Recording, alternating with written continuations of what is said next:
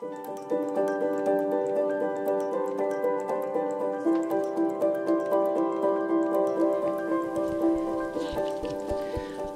this section, talking about conference life, we're going to talk about how we are organized and what happens um, within a conference. I just have to say, if I had to pick two sections that I would like to present, it would be the the introduction that I did earlier about because I get to talk about the three essential elements, and then it would be conference live, so I get to talk about conferences, the two things I like to talk about most. And as it happened, those were the two where the need was, so I got to to present these two. So I am grateful for this opportunity.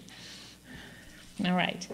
So, um, this is a quote from St. Vincent de Paul The poor suffer less from a lack of generosity than from a lack of organization. So, think back to what Cheryl talked about um, today about how St. Vincent saw the need for the, the ladies who were taking care of the family, going, you know, one a day to, um, to organize their efforts.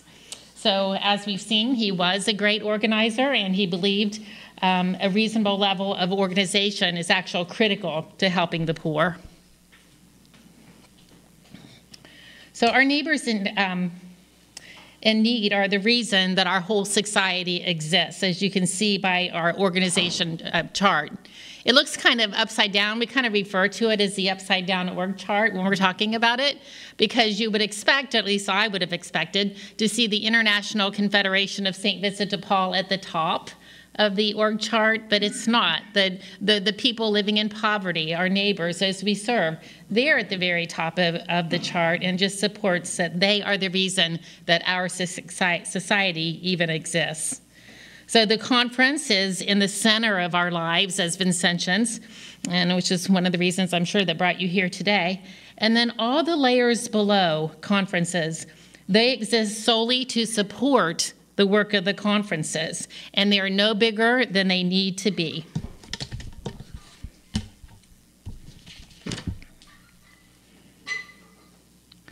So, what is a conference?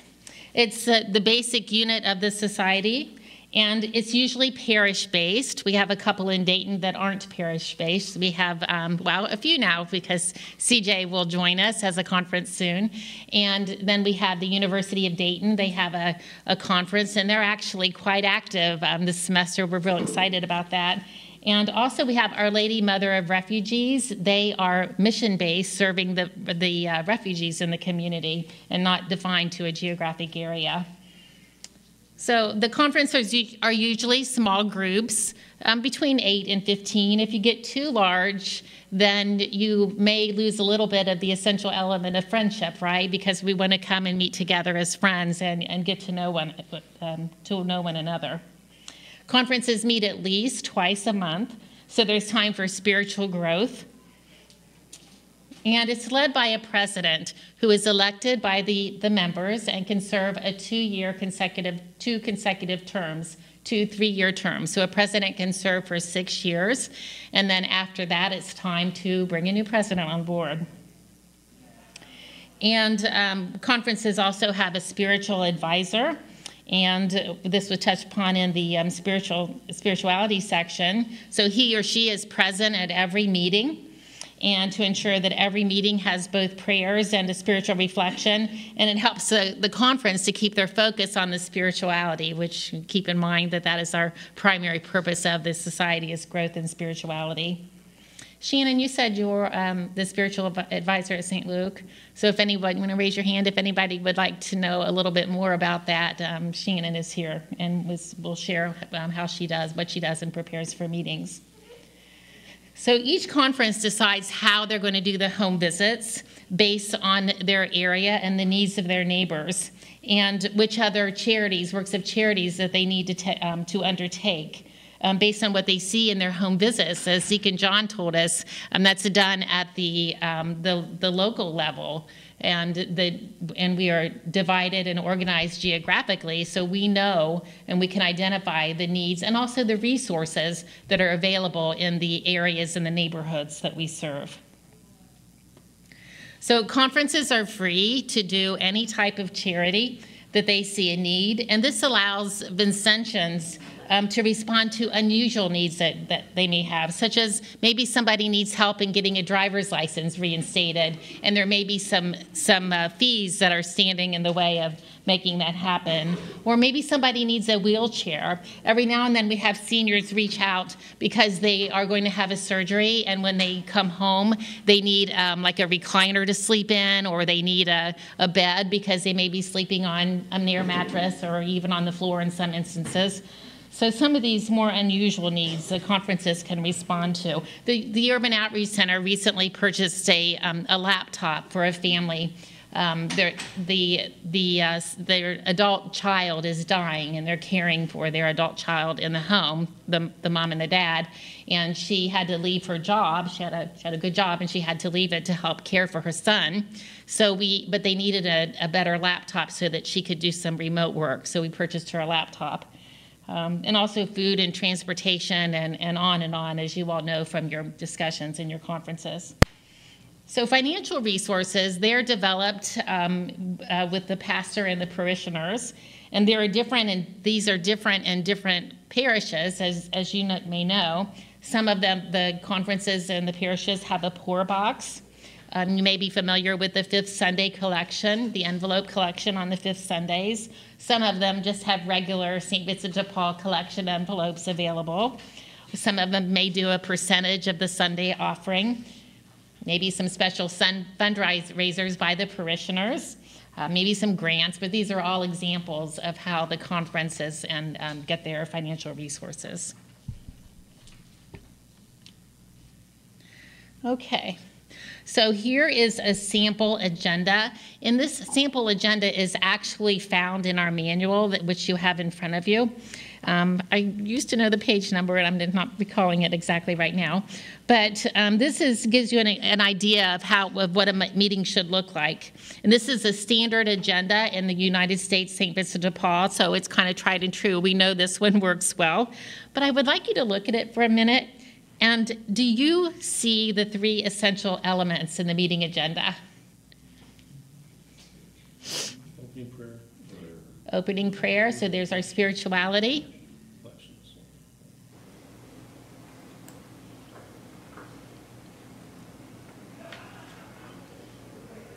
Another one, we've, we've uh, talked about spirituality. Do we see friendship?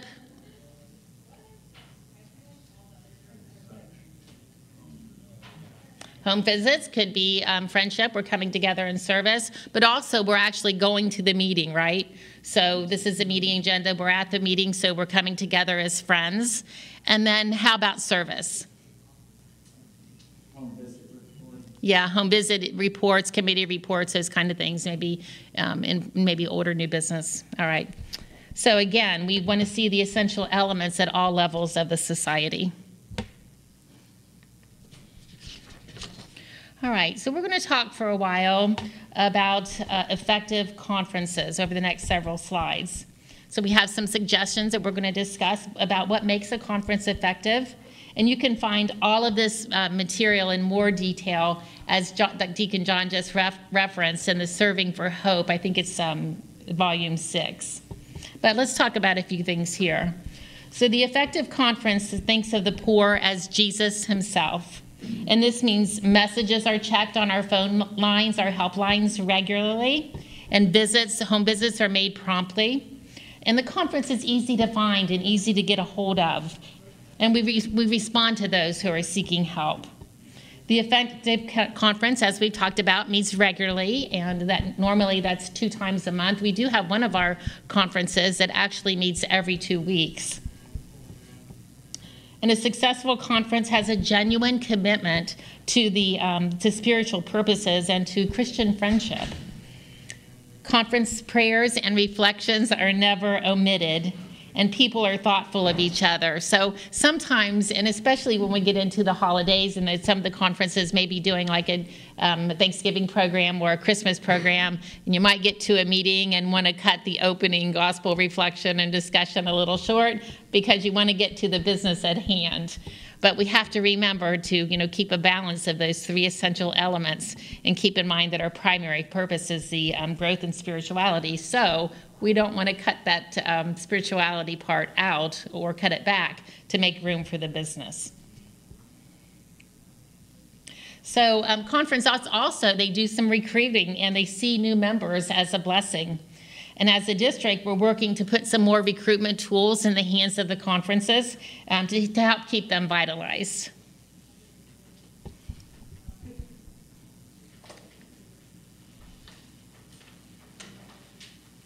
So Deacon John touched upon some of this, this, but there are a few rituals that the spiritual advisors may use, and then a couple of the resources are the Spiritual Advisor Handbook and then also something called Vincentian Celebrations. And if you don't have that, again, I'd love to make sure that all of you have that. It's available for purchase on the website, but I also think it's downloadable, and I can again take a look if anybody is interested. Um, it has all kinds of um, commissioning activities and all the language that you would need.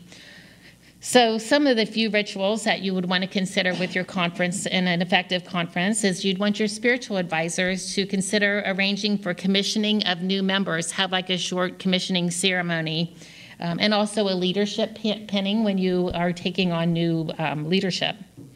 And then some other things that you might want to do together are attend uh, the Eucharist together, uh, maybe celebrate our annual renewal of membership together at Mass. It's a very short um, ceremony. Maybe conferences want to attend a special feast day mass or celebration together. The district has two prayer services a year, and um, but on the feast of Saint Vincent de Paul in September, we had a prayer service. But interestingly, that day, the, um, the UD folks, the University of Dayton conference, um, I met with them over at noon and we attended Mass together. That's how they chose to celebrate the feast day. You can read about all of these more fully in the manual that you have in front of you. Um, the rituals for all of these services are included, as I said, in that Vincentian celebration book. And I just want to say, and I'll probably just say a few more times today, our National St. Vincent de Paul website it has so many resources, uh, and I think it's ssvfusa.org. Um, but I can help you find that. And I I sometimes have a little problem navigating that website, but I'd be happy to give you a quick tutorial in how to find those resources that you may be interested in.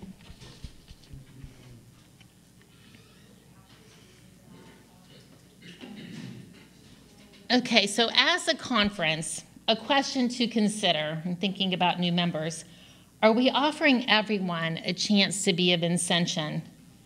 Or are we just offering it to those more senior, those more retired people, or whoever kind of looks like us, seems like us. One aspect of recruiting, which we often don't take a look at, is you know, who are we inviting? And another thing, how easy is it to join? I'm just going to step aside for a minute and, and go off the script for a second and say if your conference does not have a new member process in place, how, what happens when you take on a new member. Make sure you have that in place before you bring on new members because you want to have something in place and you want to make sure that right away you're giving them the opportunity to serve um, in the manner in which you know they, they wish to serve. So they were called to the conference for a reason, looking at our three essential elements. It may be any one of those three essential elements, right? That somebody feels called to the society. Oftentimes it's service, but it may be that somebody is really focused on the spirituality, or maybe somebody is seeking that friendship opportunity um, through the conference. So it could be any one of those three. But whatever is calling that person, you want to make sure you know them and make sure you give them an opportunity to fulfill that calling in your conference. So you want to have that in place before you start taking on uh, new members. So, looking at our conference body, then, does it represent that of our parish? And often we have only a section of the parish that may be represented, as I just mentioned. Um, but the main purpose as a society, remember, is to grow in holiness. And, and we do that by coming together as friends in service to those in need, as we've said now several times. Again, our essential elements. But we want to make that opportunity available to everyone and not just those who, as I said, might be more senior or might look like us. We want to look for ways to. Um, to make our conferences and our district uh, more, and our society generally more diverse. So new members, they're going to bring, you know, different backgrounds. They're going to bring different experiences. So, and just looking at our, our CJ um, people that are here with us today, they're going to bring a particular talent because of their youth. They're in interested in social justice. So they might bring that, you know, cause a conference to consider some type of special work um, related to social justice that maybe the rest of us hadn't thought about. So it's bringing those new ideas and those the the zeal and the energy um, for other works, other ways to serve our um, our neighbors. And we're also, when we look at um, recruiting, we want to think about future leadership. It's not always about having enough members to do the work, and I would encourage you to not use that as a reason to um, to recruit new members, but look at it more as an opportunity and an opportunity to grow in spirituality and engage in those three essential elements.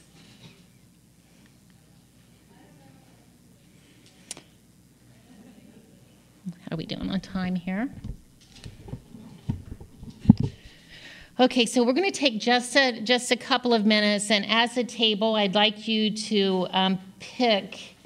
Craig, could your table take the first bullet? And then uh, the large table here, take the middle one, and then the rest of you can take the third bullet. So I would like you just talk to, just talk among yourselves for a moment, each of those topics, well, whichever one you were assigned. How could you include the following people within the works of your conference? How could you reach out to them? One, for the first bullet, both people who work during the day and people who can't drive at night. How could they be included in the work of your conference? And the second one, what about families and, and our younger people? And then third, people who talk with God in a language other than English. What do we do? So just take that discussion um, just for a few minutes and how could you include those groups within the works of your conference and what strengths might they bring to your conference? Two minutes. Okay. And speaking of memberships and members, we do have two different uh, levels of members. And we say, uh, I'm sorry, we have two different types. They're not levels. One is not better than the other one. They're just different types of, of membership. So we have an active membership and then what we call an associate. So active members, to be an active member within the conference, then um, active members are Catholic and they regularly attend meetings and they participate in the works of the conference. And these are the only members who can vote, after all, because you want people voting and making, um, contributing to the decision making, those who are attending meetings and staying um, up with the current discussions of the conference. So the associate members, those are um, also they uh, uh, participate in the conference works. They can fully engage in the works of the conference. They may or may not attend conference meetings. And you don't have to be Catholic to be an associate member. As we said, we invite and welcome everyone.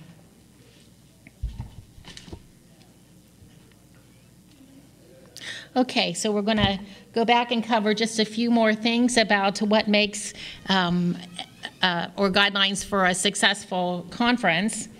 And the, the um, effective conference is also going to work with other organizations. So we don't fund in any way other organizations. Sometimes we'll have a conference ask, you know, we can we uh, give some money? We have a little extra money. Can we give it to the um, the, the small shelter that we have in our community? And the answer is no. Um, the money that was donated to St. Vincent de Paul was donated for St. Vincent de Paul to, distri- to distribute. So, no, we don't give out um, money to or fund other organizations. We can help with in kind goods, maybe blankets and beds, that kind of thing. Um, but we do want to participate in shared projects with, with other organizations within our community. So conferences uh, may want to partner or work, work closely with a community food pantry, for instance. If the conference doesn't have their own pantry, then they'll have a working relationship with a pantry or another organization. And uh, the council is uh, where you work with also with your neighboring conferences. Uh, neighboring conferences. We do that through the work of the council, and uh, Matt is going to talk to more about the um, council and what goes on at the council level um, in the next section. And then finally, um, effective conferences, they give out money as it comes in. So conferences, they don't hoard money and they're not saving it for a rainy day. You know, for the poor, it's it's an, always a rainy day, and it doesn't make a lot of sense to put some money back and not serve somebody now um, because we may want to serve somebody in the future. So that doesn't really make a lot of sense. God gives us the money.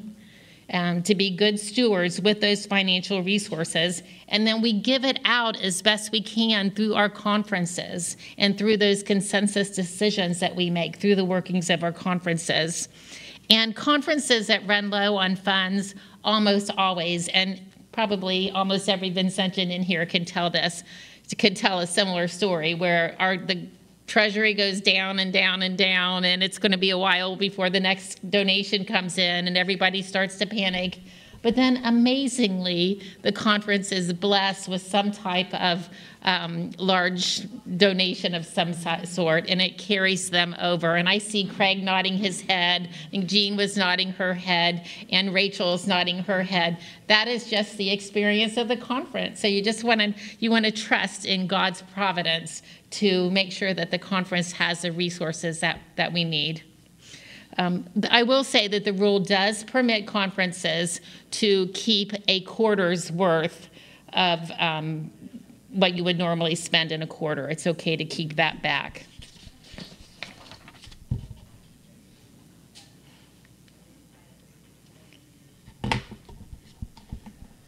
Okay, so um, a successful conference is accountable.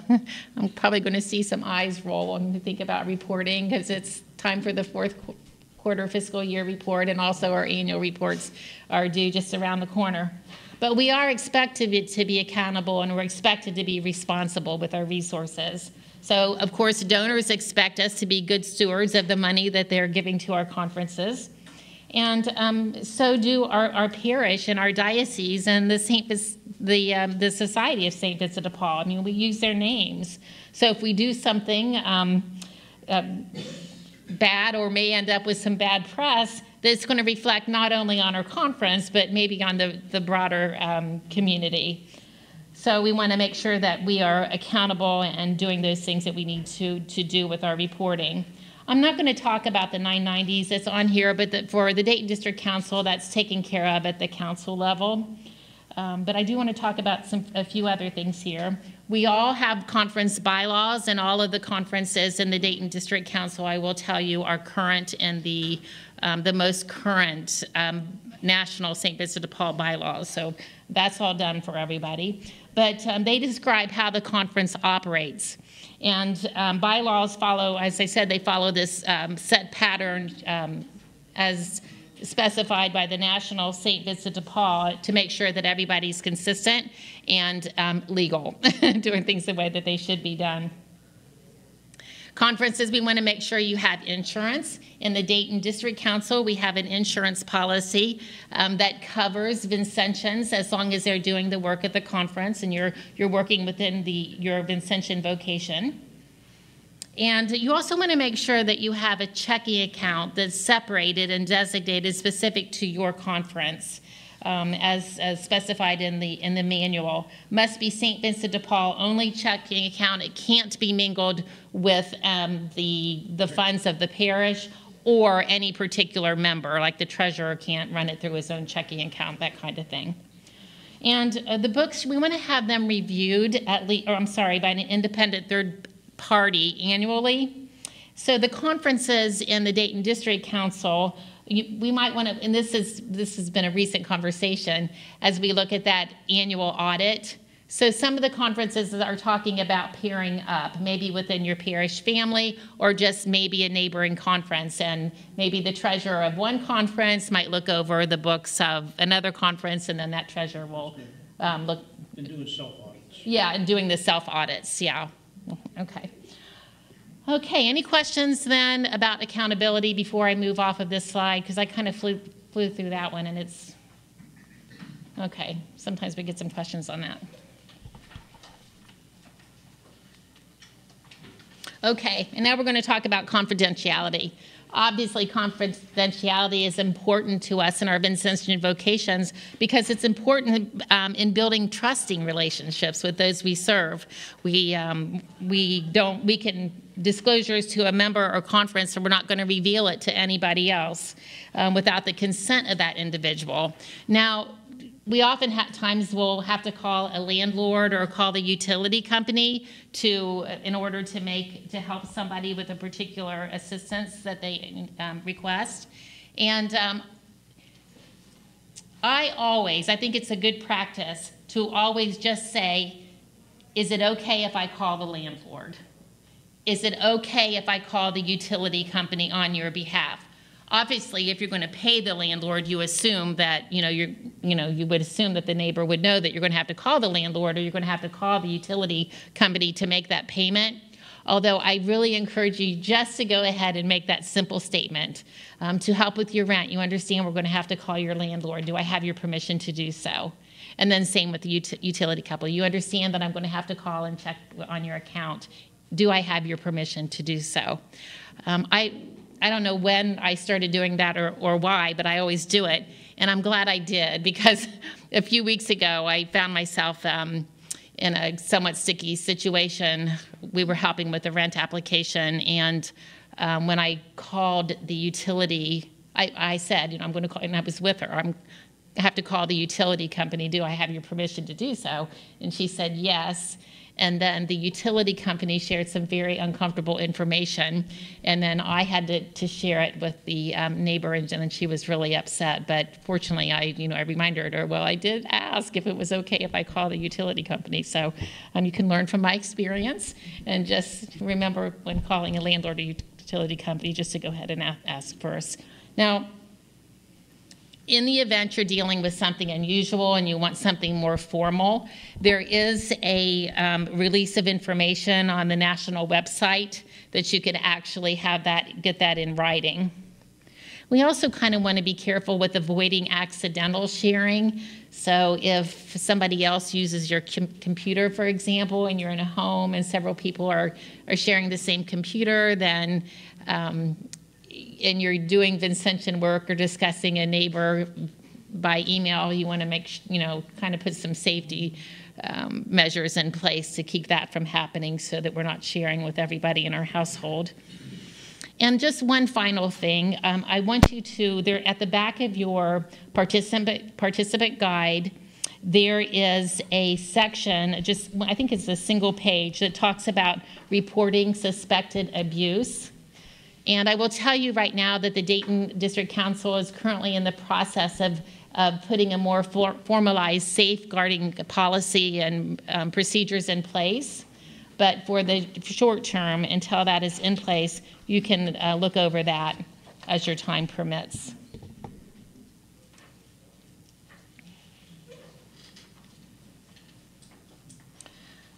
Okay, well, this is a good question. How do we do all of this?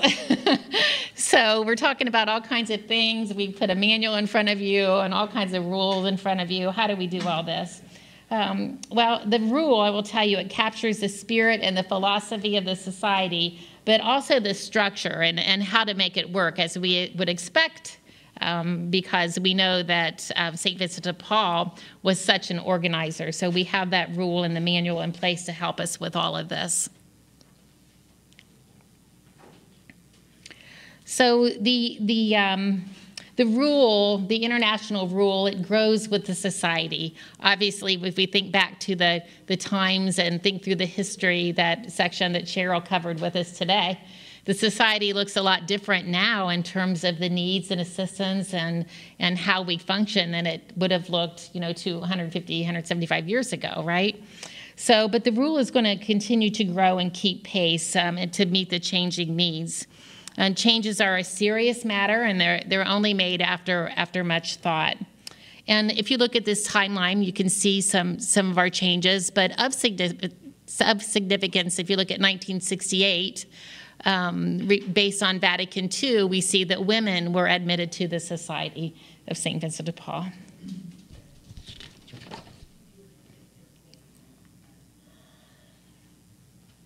Okay, and if you want to pick up your rule, you, everyone has one, and if you want to take a, take a look at it, you'll see that the rule is uh, divided into three parts. Part one talks about the philosophy and principles of the, uh, of the organization, its basic structure of the society.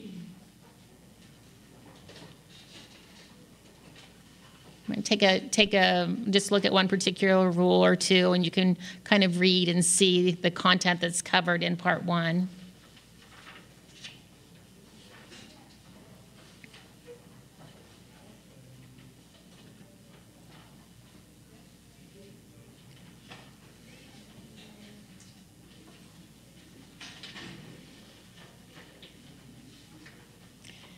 And if you go on and take a look at part two, that talks about the structure of the international society. Please do not give me a quiz on that section.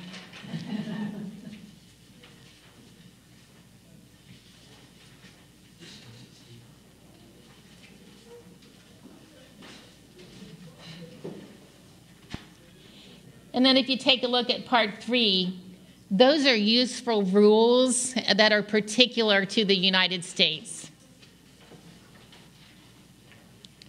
As I say, I'm, I'm, never in part two of the rule, but I live in one and three, and I think that's what you'll find um, in, in your conference work. So you want to become familiar with the rule. Obviously, many ways that you can do that. One way is to read a, a, section of the rule at each conference meetings, and I know some conferences do that, as you'll see. And here's an example. And you just looked in part one to see what is what the rule looks like. You can see they're very small sections, maybe a paragraph or two. So that's something that can easily be incorporated and added to the agenda in a conference meeting. But in the Dayton District Council, if you're receiving the weekly conference notes, you will see that we are walking through the rule in a year. So we started January 1st, it's divided and um, chunked out so that by the in December we will have walked through the rule.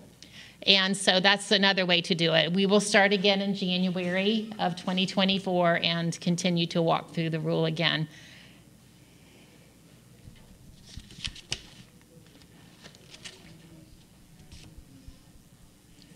Okay, so um, another way to help, I want you to pick up your manual now, if you will, and take a look at the table of contents. Hey, Steve.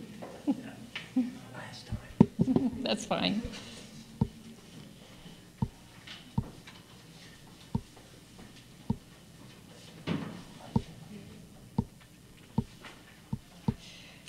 You may notice that over half of the manual addresses the spirituality of the society.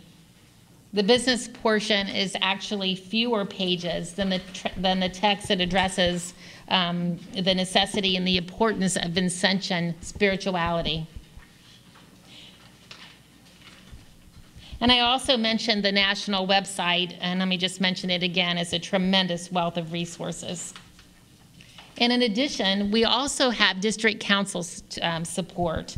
So uh, as a staff to support the conferences, you have me, you have Rita Long, who's our conference specialist, and we're available every day, most days, to answer your questions that you may have. You also have the support of your fellow Vincentians in your conferences. You have the support of the um, Board of Trustees, a board which is comprised of our conference presidents and um, Michael and Matt and everyone else. So you have all kinds of people support around you.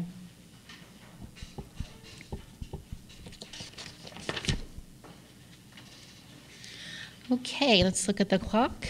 We are right on time.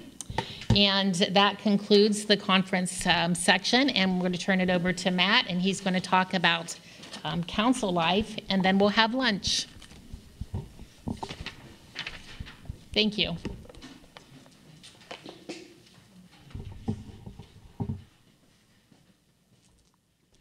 Hello, everybody. So Deb.